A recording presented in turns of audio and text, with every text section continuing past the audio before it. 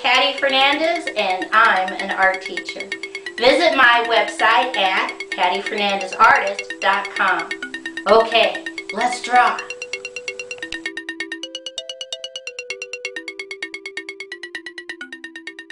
Today's project is how to draw a Pacific Northwest plank house. I'm going to take two fingers over here on the right and underneath I'm going to put a dot. And from that dot I'm going to draw a straight diagonal down, little straight line over, straight diagonal line up, straight line connect. Right at that point I'm going to draw straight diagonal down, little straight line, straight diagonal up, connect. Right here, I'm going to draw a straight line down, straight line over, straight line up, connect. I come up here to the top and I'm going to draw a straight line across, straight diagonal down, straight line over, and connect. I come right here on the left and I'm going to draw a straight line down, straight line over, keep going, up, connect. Right here at this point, just put a little straight line down. Come right about here in the center. We're going to draw a straight line down, straight line over, straight line down. Come back to the top and draw another straight line over, straight line down inside on the left, straight line down inside on the right, two straight lines going across. Okay? Now, starting over here on the left, we're going to draw a slightly wavy line out. Over here on the right, slightly wavy line out. I'm just going to draw some slightly wavy lines across. Starting on the inside and drawing straight diagonals all the way across. Keep going. Keep going. One more if you can fit it in. Now we're going to draw a straight line across. And now we're going to keep continuing. Straight line, straight line, straight line connect. Come up here, we're going to draw our diagonals. Straight line, straight line, straight line, connect. Come on the inside of this space and we're just going to draw straight lines all the way down. They don't have to be symmetrical. They don't have to be the same size. As a matter of fact, if they look more planky, more natural, that's better. Keep going. Keep going. Okay? Now, starting way over here on the left, I'm going to put a dot. And I'm going to draw curve line out, in, out, in, out, in. Keep going. Come up to the dot. Out, in, out, in. Bam. Can't go any further. Come down. Straight line down. Straight line down. Maybe a little curve line.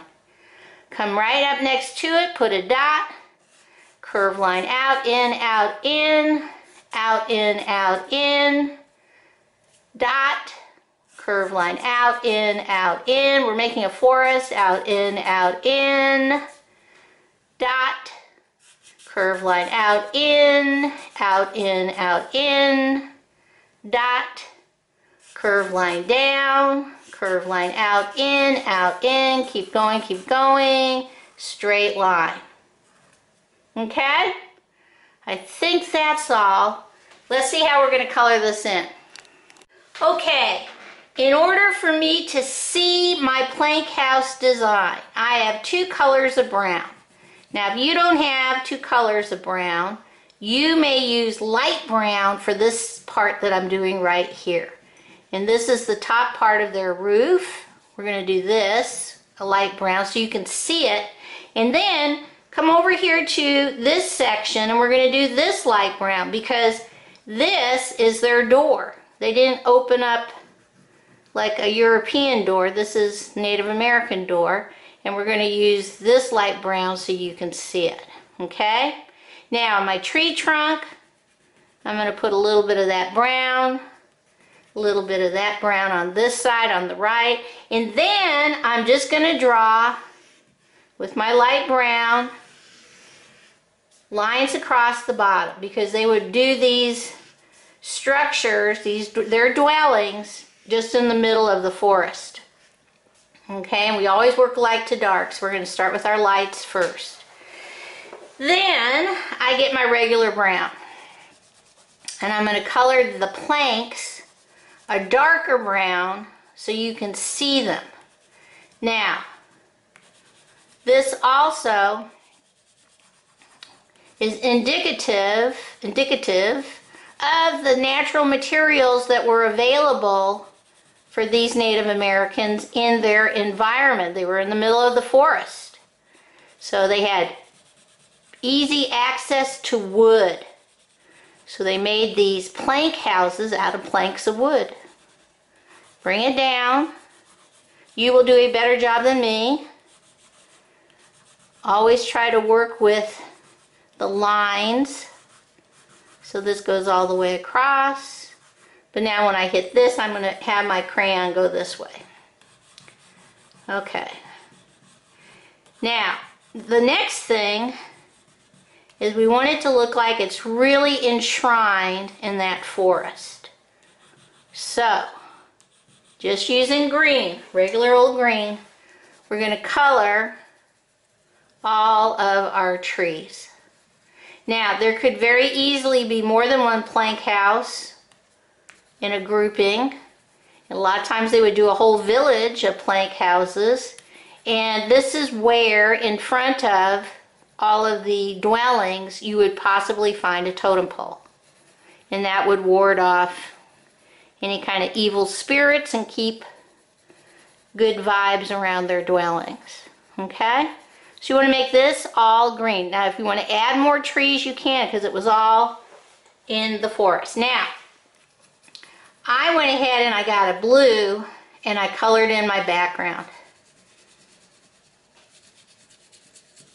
So even though this takes a little bit longer, it really adds to your drawing. And I think it's interesting that the Pacific Northwest Native Americans, because they were in a forest, they used wood, as opposed to the Plains Native Americans who used hides for their teepees. Okay, let's see what this looks like all colored in.